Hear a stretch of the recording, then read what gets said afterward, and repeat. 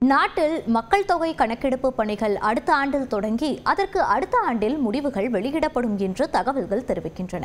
அதனைத் தொடர்ந்து மக்களவைத் தொகுதி மறுவரையறை மேற்கொள்ளப்படும் என்றும் கூறப்படுகிறது.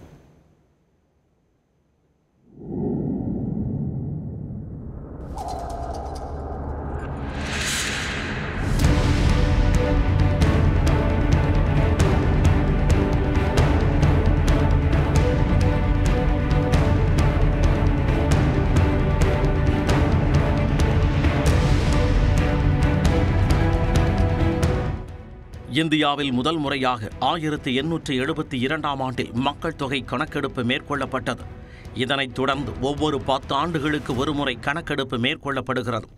சுதந்திரத்திற்கு பிறகு முதல் முறையாக ஆயிரத்து தொள்ளாயிரத்து ஐம்பத்து ஒன்றாம் ஆண்டில் மக்கள் தொகை கணக்கெடுப்பு நடத்தப்பட்டது. கடைசியாக இரண்டாயிரத்து பதினொன்றாம் ஆண்டில் மேற்கொள்ளப்பட்ட நிலையில் இரண்டாம் கட்ட கொரோனா பரவல் காரணமாக இரண்டாயிரத்து இருபத்தி ஒன்றாம் ஆண்டில் மக்கள் தொகை கணக்கெடுப்பு நடத்தப்படவில்லை. இந்நிலையில் அடுத்த ஆண்டில் மக்கள் தொகை கணக்கெடுப்பு பணிகள் தொடங்கும் என்று மத்திய அரசு வட்டாரங்கள் தெரிவிக்கின்றன. இதன் முடிவுகள் அதற்கு அடுத்த ஆண்டு அதாவது இரண்டாயிரத்து இருபத்தி ஆறாம் ஆண்டில் வெளியிடப்படும் என்றும் கூறப்படுகிறது. சாதிவாரி கணக்கெடுப்பை நடத்த வேண்டும் என்று திமுக காங்கிரஸ் ராஷ்டிரிய ஜனதாதளம் உள்ளிட்ட கட்சிகள் வலியுறுத்தி வருகின்றன. பாஜக கூட்டணியில் உள்ள ஐக்கிய ஜனதாதளம் தெலுங்கு தேசம் ஆகியவையும் சாதிவாரி கணக்கெடுப்பை நடத்த வேண்டுமென கோரிக்கை விடுத்து வருகின்றன. எனினும் இறுதி முடிவை மத்திய அரசே மேற்கொள்ள உள்ளது. தற்போதைய நிலையில் மத்திய அரசுக்கு சாதிவாரி கணக்கெடுப்பை நடத்தும் திட்டம் இல்லை என்று கூறப்படுகிறது.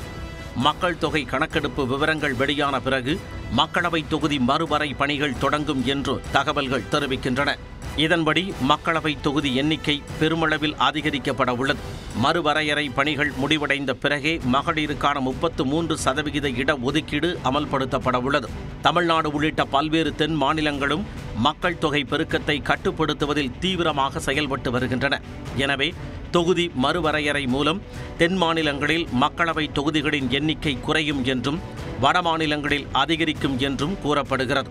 எனவே தொகுதி மறுவரையறை மூலம் அநீதி இழைக்கப்படாமல் இருப்பதற்கான வழிவகைகள் குறித்து மத்திய அரசு பரிசீலித்து வருவதாக கூறப்படுகிறது.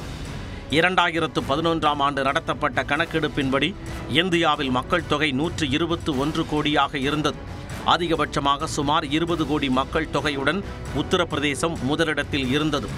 ஆறு லட்சம் பேருடன் சிக்கிம் மாநிலம் கடைசி இடத்தில் இருந்தது.